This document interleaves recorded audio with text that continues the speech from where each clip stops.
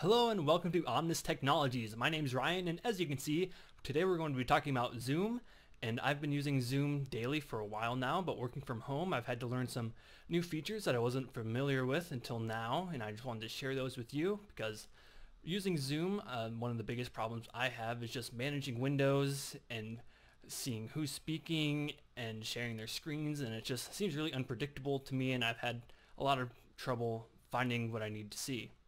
So I thought I would illustrate what the different views are and hopefully you can uh, learn how to see what you need to see when you need to see it. So I'll start off in our default view. I have two participants in this meeting. One is this video of me and one is just another one uh, logged into another computer. There's nobody actually there. It's just um, our OmnisTech account.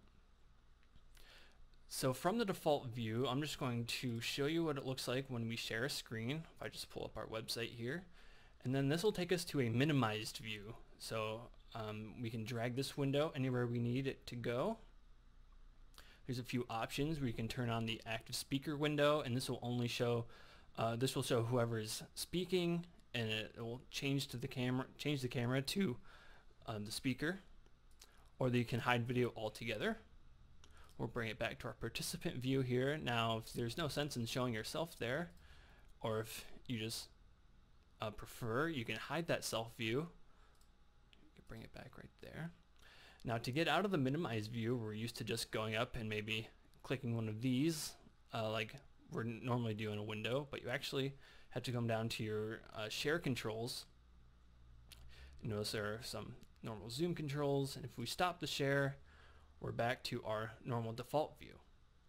Now I'm going to uh, do a cut here and log into another account so you can so I can show you how it looks like when someone is sharing their screen with you. So just a minute. Alright, I'm back and all I did was switch into my other account and share that screen. So this is what the view looks like when someone is sharing their screen with you. So there's a couple things here. The first thing I'll talk about is this side-to-side -side view. So if it doesn't look like this, just go up to the top, view options, enable side-to-side -side mode. Um, so if it's disabled, it'll look like this and you'll see we still have our minimized view here. I prefer the side-to-side -side mode because I like that it's a little more flexible. So if you hover over the crease here, you'll be able to resize your participant videos if you have a lot of participants or you just want the bigger window there. Or if you're really trying to see what's on the screen, you can make the screen bigger and it'll, it'll make these um, video views smaller compromise you can make is turning speaker view on at the top here and this will only show um, when someone is speaking and it'll Zoom will be able to dynamically switch between cameras and show you and highlight the speaker. But I prefer the gallery view so I can see the whole team at once and if you have depending on how many participants you have it helps to be able to change the size of the screen there.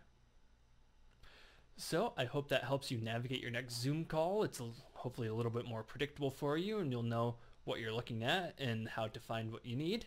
If you have any more questions, feel free to leave a comment or reach out to us at, um, at tech support at omnistech.com. Thanks for watching.